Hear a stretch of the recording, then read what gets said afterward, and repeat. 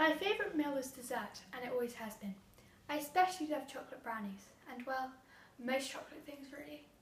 I'm also a really sporty girl. I do athletics, gymnastics, netball, rounders, and many more sports, inside and outside of school. On Saturday mornings, I teach gymnastics at Harpenden Sports Centre. As well as that, I play piano and I am on grade